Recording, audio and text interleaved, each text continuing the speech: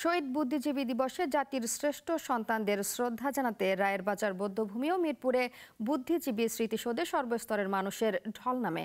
স্বাধীনতার বান্ন বছরেও শহীদ বুদ্ধিজীবীদের পূর্ণাঙ্গ তালিকার পাশাপাশি বুদ্ধিজীবী হত্যার দণ্ড কার্যকর না হওয়ায় হতাশা জানিয়েছে শহীদ সন্তানেরা। মাসুদ মুস্তাহিদের রিপোর্ট।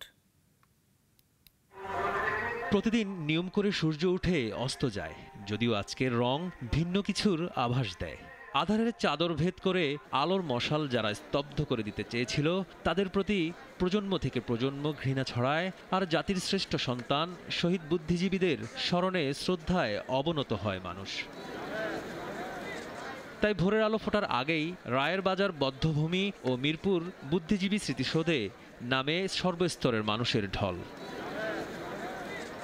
স্কুল কলেজ বিশ্ববিদ্যালয় সহ বিভিন্ন সামাজিক রাজনৈতিক ও সাংস্কৃতিক সংগঠনের পক্ষ থেকেও জানানো হয় শ্রদ্ধা। বাঙালির চেতনা শক্তি আর শিক্ষার নবজাগরণ কামনা করে আমরা এখানে প্রতি বছর উদযাপন করতে আসি। কেউ সেজে কেউ বা মুখে তুলে নিয়েছিলেন প্রতিবাদের ঝড়।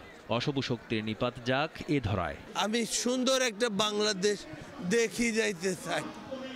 এই এই আমার এই বাসনা আমার। স্বাধীনতার বাউন্ন বছরেও শহীদ বুদ্ধিজীবীদের তালিকা পূর্ণাঙ্গ হয়নি। দণ্ডপ্রাপ্ত আসামিদের রায় কার্যকর না হওয়ায় আক্ষেপ রয়ে গেছে অনেকের। কোথায় কোথায় শহীদ হয়েছে বদ্ধভূমি কোথায় আছে তাদের তালিকাগুলি তৈরি করা এবং সাধারণ মানুষ এবং পরবর্তী প্রজন্ম যাতে জানতে পারে।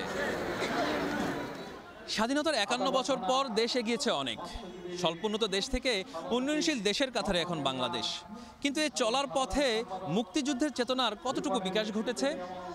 চোদ্দই ডিসেম্বর যেন একটি দিবসের ফ্রেমের কাতারে আবদ্ধ না হয়, বুদ্ধিজীবীরা পাবে তার উপযুক্ত সম্মান। আজকের দিনে এমনটাই প্রত্যাশা সবার। মাসুদ মুস্তাহিদ, নাগরিক, ঢাকা।